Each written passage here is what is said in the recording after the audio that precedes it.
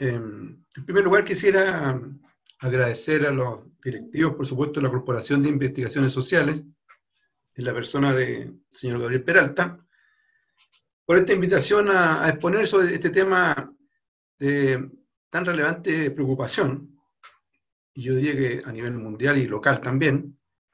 por las implicancias que tiene en el aspecto delictivo, económico, político, social, como es el narcotráfico y el crimen organizado.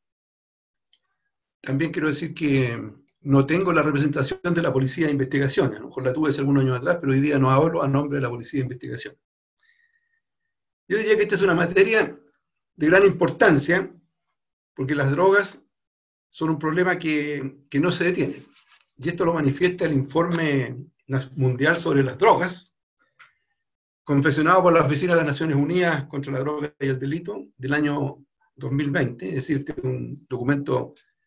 que salió recién ahora en el mes de junio, y que dice que la cannabis sativa es la sustancia que más se consume, y estiman que 192 millones de personas la consumieron en el 2018, lo que, la que la convierte en la droga más requerida, digamos, a nivel mundial. Ahora, el escenario de los, estimulantes está dominado, por supuesto, por la cocaína y las anfetaminas, las metanfetaminas, por dicho. Y el uso de ambas sustancias está aumentando en los principales mercados. Dice el informe que unas 19 millones de personas consumieron cocaína, mientras que aproximadamente 27 millones consumieron anfetaminas en 2018. Ahora, el cultivo del arbusto de coca continúa a un nivel históricamente muy alto. Hay 242.200 hectáreas. Y el área de cultivo de la coca se, ha mantenido estable entre los años 2017 y 2018. Aquí también hay 27 millones que consumieron anfetaminas el 2018. Ahora, este es un problema que hay también eh, en el sudeste africano, también eh, asiático, eh, respecto a los opioides. Este cultivo de la coca continuó también a un nivel histórico muy alto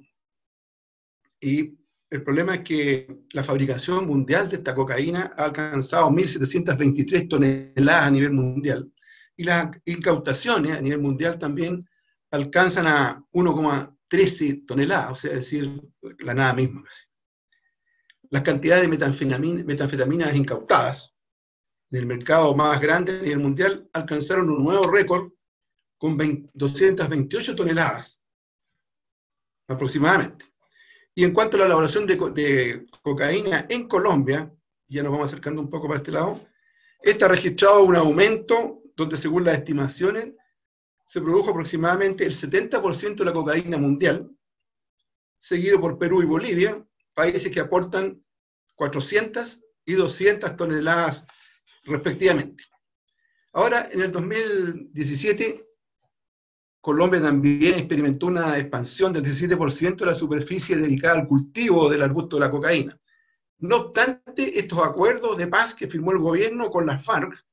lo que ha obligado, digamos, algunas fuentes a retomar y ampliar el cultivo. Ahora bien, la ubicación geográfica de Chile nos sitúa así como vecinos los principales países consumidores de droga como son Perú y Bolivia, compartiendo con ellos, como ustedes saben muy bien, extensas fronteras habilitadas y variados pasos no habilitados en la zona norte de nuestro país. También las amplias existentes y el gran puente aéreo que tenemos con diversas rutas de destino intercontinentales son factores determinantes que representan también una gran ventaja para las organizaciones criminales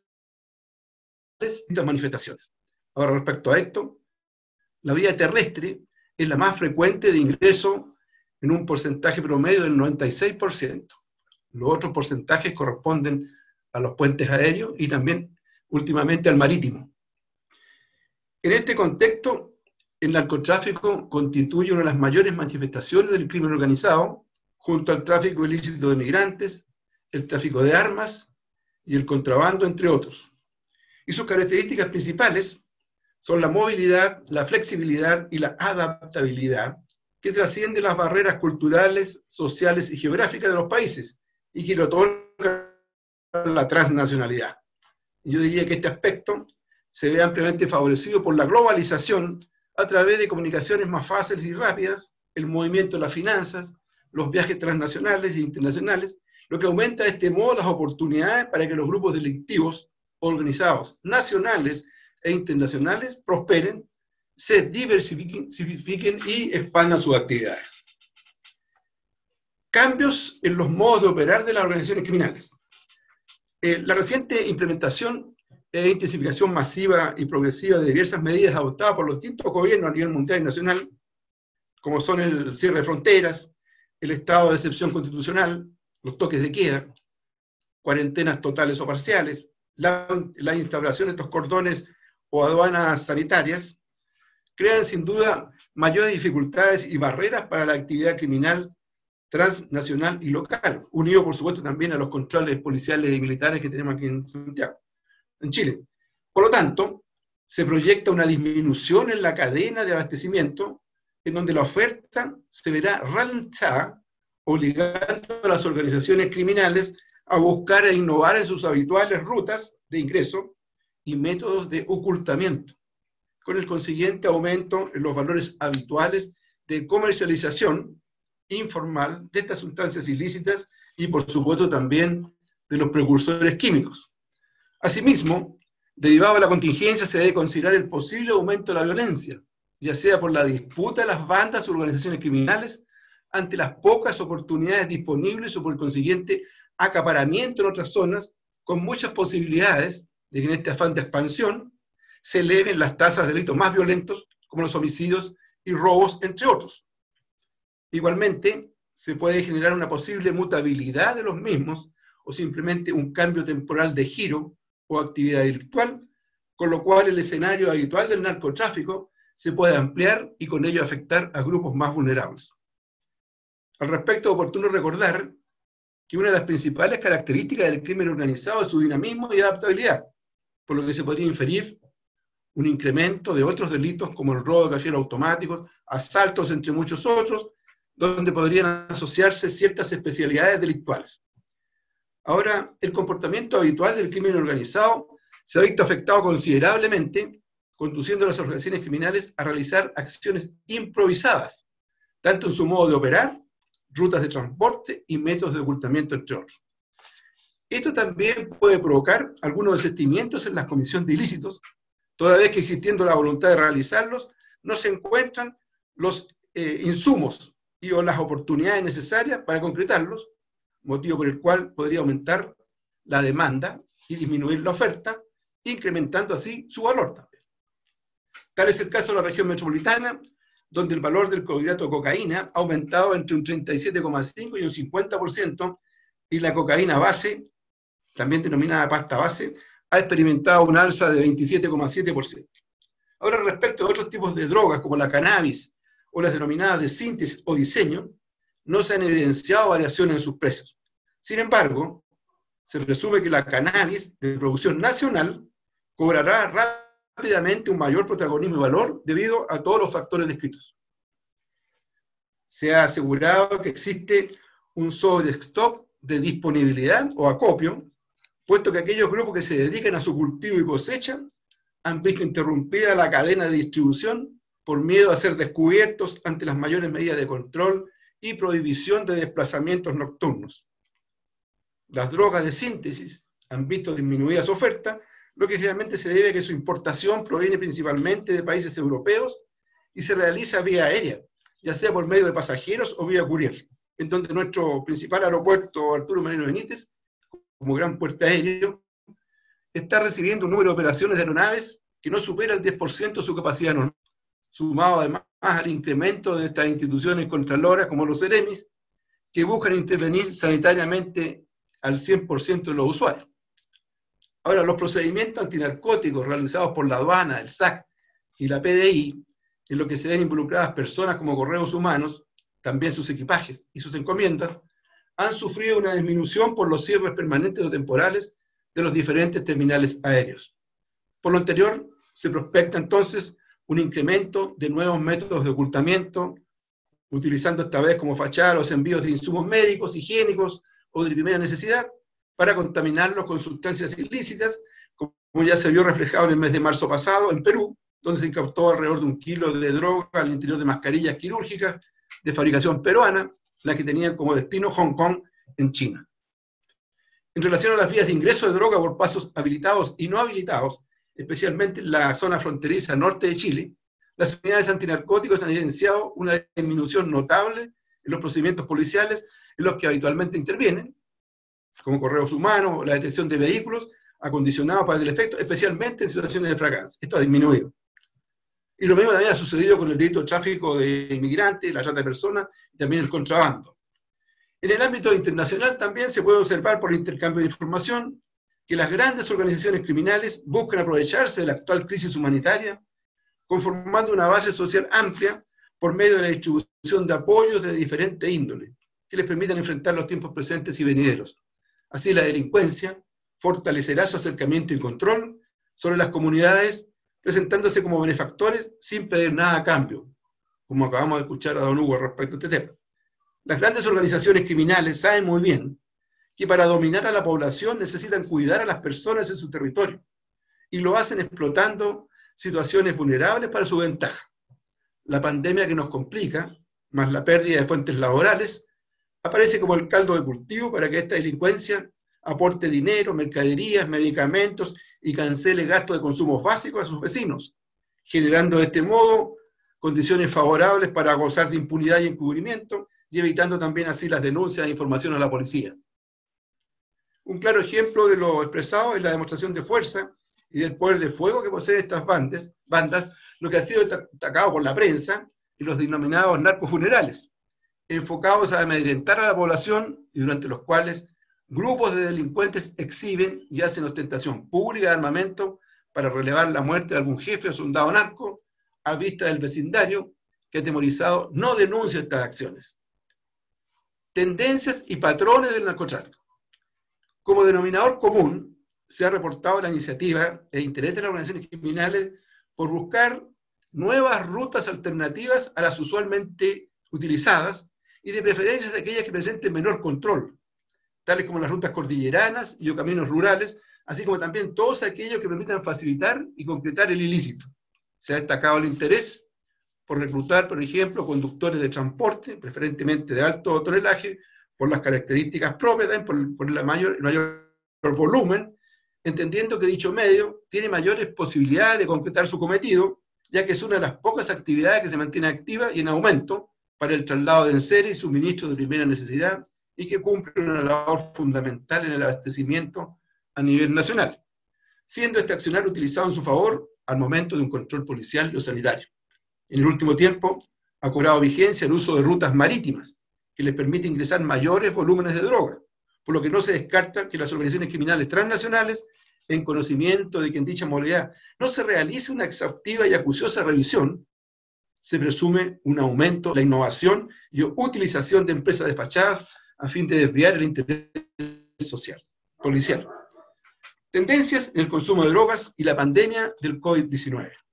El COVID-19 ha modificado los hábitos de vida de todos y se estima que los procesos sanitarios de rehabilitación existentes se verán afectados, en lo principal por el cumplimiento del distanciamiento social, por lo que se presume que será prácticamente imposible darles continuidad, originando que aquellas personas que se encuentran en esta situación deberán regresar a sus casas para facilitar el estricto cumplimiento dispuesto por la autoridad sanitaria. En consecuencia, los adictos, y ante la imposibilidad de poder asistir a sus programas, eh, el escenario les obligará a perder un espacio de protección y en ocasiones regresar a una realidad que deteriora su calidad de vida, agravado por el encierro, la falta de trabajo, el bajo nulo apoyo familiar, espacios confinados pequeños, en contexto de alta vulnerabilidad psicosocial, factores adicionales que le harán más difícil cumplir con sus metas terapéuticas. Por lo tanto, se estima que aquellos, eh, que aquellos que se encuentran en procesos de rehabilitación volverán a las calles, donde se encontrarán más expuestos no solo a contagiarse del COVID-19, sino a volver a un consumo problemático de alcohol o drogas, que se verá facilitado al compartir algún instrumento o material para consumir cannabis, como son los dispositivos de inhalación o vapeo, compartir cigarrillos, alcohol, etc. Asimismo, conforme a la escasez presente en las calles, se ha advertido de la percepción del consumidor que las sustancias ilícitas existentes y comercializadas a nivel barrial han visto mermada su calidad, producto de un mayor abultamiento de lo normal con sustancias ampliamente conocidas y la implementación de otras. Es decir, de un kilo de droga vamos a hacer tres o cuatro A su vez, la citada pérdida masiva de empleo y la falta de oportunidades constituye, como decía, el caldo de cultivo para el desarrollo de actividades ilícitas, en particular se vislumbra un aumento de la importancia relativa del crimen internacional organizado, que continuará trayendo jóvenes en sus filas y cuyo accionar es responsable de la otra pandemia, la violencia criminal homicida que hemos visto con la muerte de varias personas. Algunas conclusiones y desafíos. La droga está relacionada con una dimensión de origen criminal abiertamente asociada con el narcotráfico en diversos delitos conexos. Y en este, en este escenario se hace pertinente atacar la oferta de los proveedores y sus operadores mediante adecuadas políticas de intervención policial y estrategias de persecución penal. Es una acción cuya responsabilidad radica de manera primordial en el Estado y sus instituciones, las que deben ser capaces de identificar, contener y sancionar las operaciones de tráfico con el fin de disminuir la cantidad de droga que llega a los consumidores finales. Por otro lado, la especialización de la policía es determinante para enfrentar con éxito el narcotráfico y el crimen organizado, dado que las tendencias indican que estos delincuentes están en permanente evolución en sus técnicas delictivas, por lo que se requiere una policía de excelencia y altamente capacitada para enfrentarlos. Ahora bien, las herramientas para combatir estas actividades delictuales son diversas, complejas y podríamos enumerar el análisis criminal, la inteligencia policial. Hay una muy importante que es la investigación patrimonial, la cooperación internacional y acciones focalizadas en grandes organizaciones de proveedores, por una parte, y en las pequeñas bandas de microtraficantes, por otra. Esta es una labor integral dirigida a atacar no solo a los operadores más directos, sino también a sus financistas y planificadores. En rigor, es un trabajo en que debe intervenir en toda la cadena del narcotráfico. Junto con ello, y lo más importante, se deben emprender acciones destinadas a incautar las ganancias, evitando así el lavado de dinero y la continuidad de las operaciones. La criminalidad, eh, organizada asociada al tráfico de droga está entre los mayores factores que atentan en contra de la seguridad. También lo acaba de decir Don Hugo. Pues gracias a su estructura de funcionamiento, puede actuar superando las barreras institucionales de prevención y control. En efecto, el narcotráfico es la típica actividad propia de la criminalidad moderna, capaz de actuar globalizada y flexiblemente conforme a una lógica de redes interconectadas aterritorialmente y disponible a incorporar en sus operaciones las más avanzadas tecnologías. Este descarnado análisis obliga a estudiar también el incremento de los recursos financieros y tecnológicos personal especializado y con una alta convicción ética, apoyo gubernamental y legislativo y coordinación constante entre policía, fiscales y jueces, además de una amplia colaboración con la comunidad.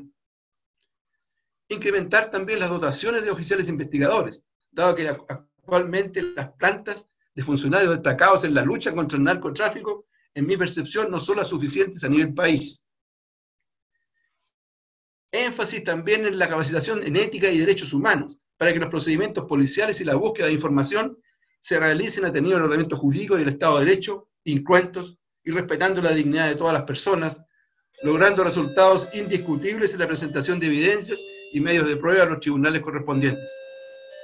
La labor preventiva debe ir acompañada de una constante asistencia especialidad, especializada en las, en las escuelas,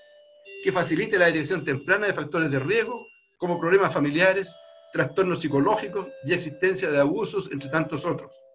Se hace urgente también potenciar las redes de orden social, deportivo, religioso, cultural y de apoyo familiares, con el fin de abrir espacios que permitan el despliegue de sus potencialidades e inquietudes, evitando con ello frustraciones que pueden impulsar el consumo y la adicción. Las políticas sociales de empleo, vivienda y capacitación son también potentes factores protectores que impiden a una persona derivar en el tráfico o en el consumo de antes. Finalizo ya expresando que un gran financista puede tener un centro, su centro de operaciones en cualquier parte del mundo y desde allí organizar a los productores ubicados en otros países. Para ello, contará con operadores de distintas nacionalidades en diversos lugares y con múltiples contactos, quienes definirán los métodos, las medidas de protección y las rutas de transporte que a su vez abarcarán a más de una nación. Sus ganancias son enormes y por lo menos no solo de construir grandes estructuras criminales, sino de corromper los sistemas políticos, legislativos, judiciales, policiales y financieros, todo lo cual le permite dar continuidad y protección a sus operaciones, tal como lo demuestran innumerables casos que han afectado a muchos países de la región, donde incluso se han asociado guerrillas y pandillas juveniles, como el caso de las maras. Este proceso corruptor se realiza silente y sistemáticamente, y una vez extendido como metastasis y consolidado, se hace muy difícil generar medidas de corrección institucional. Así entonces, la pobreza, la educación limitada y la marginación social seguirán siendo factores importantes que aumentan el riesgo de trastornos por el consumo de drogas. Los grupos minados y en situación de vulnerabilidad también pueden enfrentar obstáculos para obtener servicios de tratamiento debido a la discriminación y el estigma, según también lo que ha dicho el Informe Mundial sobre las Drogas. Muchas gracias.